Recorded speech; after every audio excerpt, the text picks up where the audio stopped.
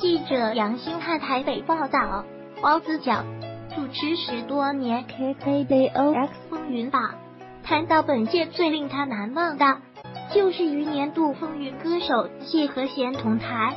原来谢和弦去年早在身上刺了黄子佼，要对前辈致意。黄子佼说很开心跟他合照，寻找他刺在身上的黄子佼。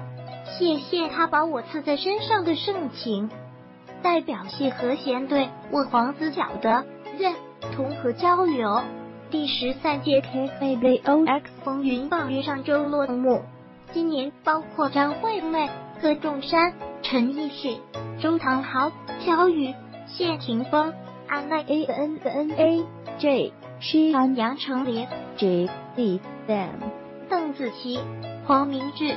谢和弦、B I I、毕书静、林俊杰、卢广仲等多位艺人互相盛举。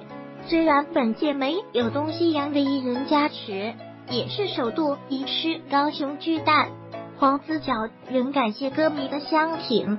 他也谈到，很开心整个唱片圈大中华的歌手为了荣誉而聚集，不允许在这场域携手演出，这是外面凑咖。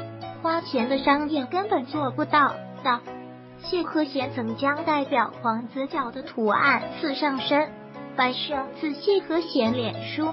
黄子佼连续多年主持 KKBOX 风云榜，KKBOX 提供谢和弦出席第十三届 KKBOX 风云榜。